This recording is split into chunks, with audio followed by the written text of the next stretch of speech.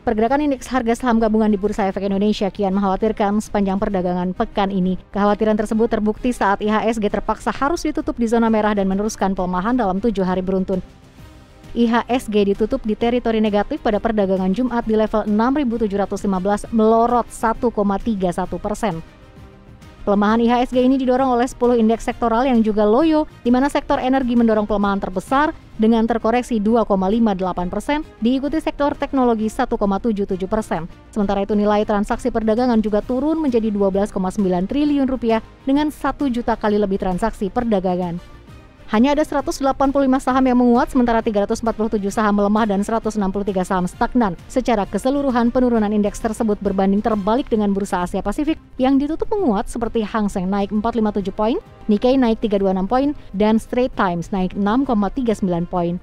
Pada perdagangan terakhir pekan ini, pelaku pasar mencermati ancaman resesi yang masih menaungi global termasuk Indonesia. China sebagai negara dengan perekonomian terbesar kedua di dunia juga terus melaporkan data negatif. Setelah melaporkan penurunan ekspor dan impor November, China melaporkan penjualan kendaraan untuk penumpang anjlok 9,5 persen secara tahunan.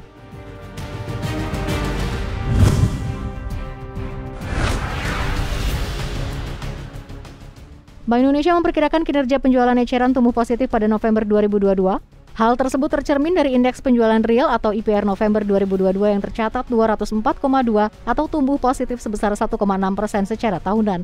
Meski tumbuh 1,6 persen secara tahunan, penjualan eceran hanya tumbuh 0,7 persen secara bulanan. Perkiraan ini jauh lebih rendah dari bulan sebelumnya, di mana penjualan eceran diperkirakan meningkat 3,1 persen.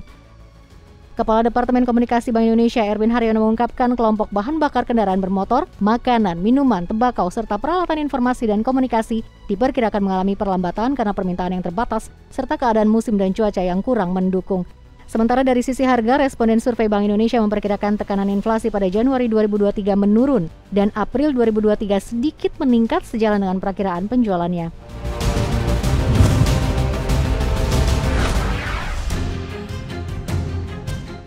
500 ribu ton beras impor secara bertahap masuk ke gudang Perumbulok.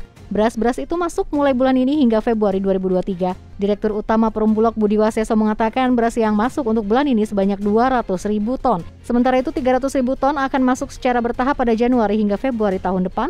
Budi Waseso atau Buas belum merincikan dari negara mana saja beras itu berhasil didapat, namun yang jelas beras-beras itu akan segera memenuhi stok cadangan beras pemerintah atau CBP sampai awal tahun depan. Buas memastikan beras itu bukan untuk diperdagangkan sebagai beras komersil sehingga tidak akan ditentukan besaran harganya. Menurutnya stok beras Indonesia sebetulnya tidak bermasalah sebab stok beras yang terkikis selama ini hanya untuk CBP yang digunakan untuk stabilisasi gejolak harga hingga mengantisipasi kondisi darurat.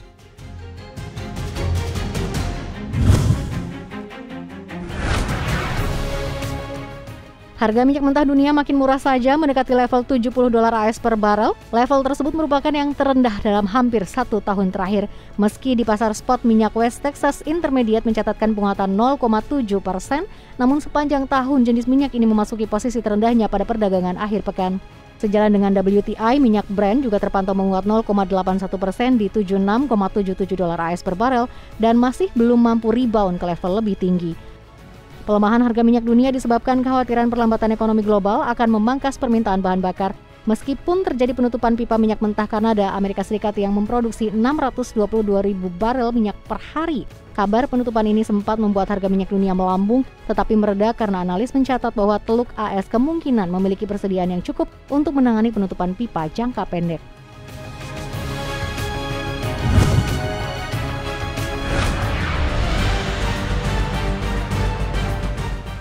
Arab Saudi dan China memamerkan hubungan yang semakin erat dengan serangkaian kesepakatan strategi selama kunjungan Presiden China Xi Jinping ke negara itu. Kesepakatan itu termasuk ekspansi raksasa teknologi China Huawei ke wilayah Riyadh. Meski belum ada angka pasti, tetapi sejumlah sumber mengatakan kedua negara akan menyegel perjanjian awal dengan nilai fantastis, yakni 30 miliar dolar AS atau 470 triliun rupiah.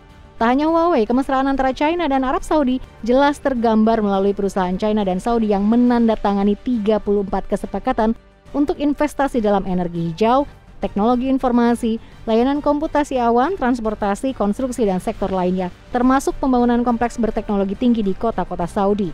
Huawei sendiri telah berpartisipasi dalam membangun jaringan 5G di sebagian besar negara Teluk, meskipun ada kekhawatiran dari rival China, Amerika Serikat. Apalagi Huawei masuk dalam daftar hitam Washington atas alasan keamanan.